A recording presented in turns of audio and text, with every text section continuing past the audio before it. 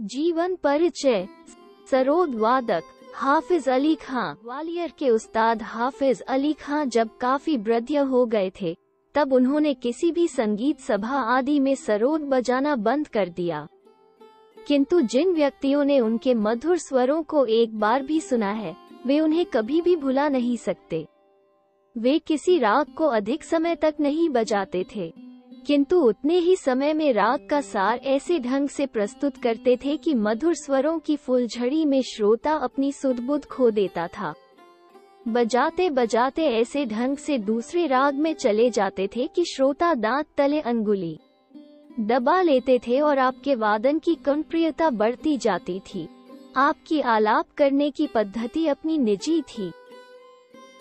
राग के चुने हुए कर्णप्रिय स्वर समूहों को ही प्रस्तुत करते थे और बेकार के स्वर समूहों में अपना और श्रोता का समय नष्ट नहीं करते थे। आपका सारा ध्यान रस निष्पत्ति पर इतना अधिक रहता था कि आप तबले के साथ लड़ंत भिड़ंत पसंद नहीं करते थे। रागों का चुनाव भी प्रचलित रागों से करते थे। प्रिय वाद्य सरोद पर जवा की। आघात इतनी नियंत्रित होती थी कि रस संचार में तनिक भी बाधा नहीं आती थी। बल्कि वृद्धि ही होती थी। आपके वादन में गाय की अंक का मिश्रण था। उस्ताद हाफिज अली का जन्म सन अठारह सौ सतासी में ग्वालियर के एक संगीत परिवार में हुआ। आपके पिता उस्ताद नन्हे खां अपने समय के अच्छे संगीतज्ञों में से थे। बचपन से ही वे हाफिज अली को संगीत की शिक्षा देने लगे। प्राचीन परंपरा के अनुसार आपको ध्रुपद धमार की शिक्षा दी गई। पिता और गुरु की मृत्यु के बाद वृंदावन के पंडित गणेशी लाल चौबे से काफ़ी समय तक ध्रुपद धमार की शिक्षा ली। उसके बाद रामपुर के प्रसिद्ध सरोद वादक वज़ीर खां से शिक्षा लेने लगे। हाफिज अली का स्वर ज्ञान अच्छा हो गया था। इसलिए वे वज़ीर खां की छाया में रहकर शीघ्र ही एक अच्छे सरोद वादक हो गए।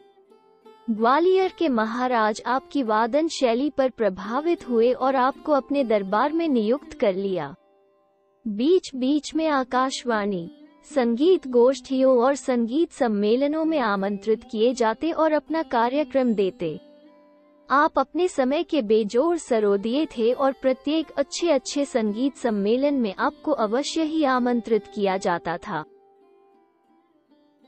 तैयारी, में भी आप किसी से कम न थे। दस बजे के आसपास अभ्यास करने बैठते और बजाते बजाते पूरी रात बिता देते। चारों ओर आपके प्रशंसा की धूम थी। सन बावन, तिरपन में वर्ष का सर्वोच्च संगीतज्ञ घोषित करते हुए राष्ट्रपति ने आपको पुरस्कृत किया। संगीत नाटक अकादमी दिल्ली के फेलो भी चुने गए। सन 1960 में राष्ट्रपति ने संगीत की अथक सेवा करने के लिए आपको पद्म भूषण की उपाधि से विभूषित किया। इसके पूर्व आपको आफ्ताबे सरोद की उपाधि भी प्राप्त हो चुकी है। आपका देहावसान 28 दिसंबर 1972 को दिल्ली में हुआ। आपके पुत्र अमजद अली खान ने एक अच्छे सरोद वादक का स्थान ग्रहण कर लिया है।